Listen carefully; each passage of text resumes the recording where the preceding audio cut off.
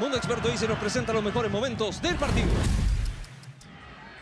Antes de, este, de esta goleada, le había ganado 5 a 0 a Puerto Montt, le había ganado también a Fernández Vial por goleada y 5 a 1 a la U de Conce. Necesitaba hoy por lo menos tres goles para ir a los penales. Luna recupera, Piñones en el centro y Bandes que anticipa Troncoso. Se duerme el central en el cierre y la empuja Bandes. Porque define con un rodillazo. Rodilla izquierda, le mete el venezolano para anticipar a Troncoso, que no lo vio. No intuyó que lo podía, que le llegaba Bandes. De hecho, gira como para rechazar. Y ya ahí apareció Bandes. Rodilla izquierda, 1 a 0. Ahí se ve. 1 a 0 para Copiapó. Tiro libre de Medel. Todo de aquí. Responsabilidad absoluta del portero. Retrocede. Y después la quiere sacar. La deja corta. Y Juan Jaime, que cuando partió el tiro de Medel estaba habilitado. Le entregaron un caramelito ahí. Para que defina dentro del área chica 2 a 0. Lo dijiste Se ponía el anticipado Navidad. Sí. El tercero, también de pelota detenida.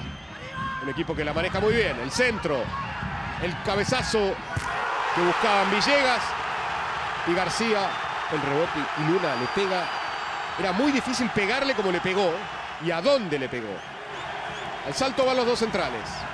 Y ahí, porque va corriendo hacia la derecha y la empalma. Ahí se ve perfecto. Y la empalma con todo el empeine, cambiándole el palo a Viana. Era muy difícil hacer lo que hizo el 10. Sin embargo, lo logró. Y con ese gol, el partido iba a penales. Pero, lateral largo de Contreras. Los 2-9 contra los dos centrales. Opaso va con eh, Díaz. No llega ninguno de los dos. Quinteros le gana en el pique corto a Villegas. Y le alcanza a pinchar el balón por, la, por arriba de la salida de Viana. 4 a 0. Copiapó sobre Puerto Montt. El gol que le daba la clasificación para enfrentar a Cobreloa. Para definir el segundo ascenso a Primera División. Y en el final, la segunda amarilla a Juan Méndez cuando salía a esta contra. Lo toca Méndez, que ingresó como extremo izquierdo, después pasó a ser eh, volante interior derecho en el segundo tiempo. Había entrado a los tres minutos de partido en lugar, en lugar del lesionado Valdivia. Final del partido. Deportes Copiapó va a la final por el ascenso ante el elenco de Cobreloa.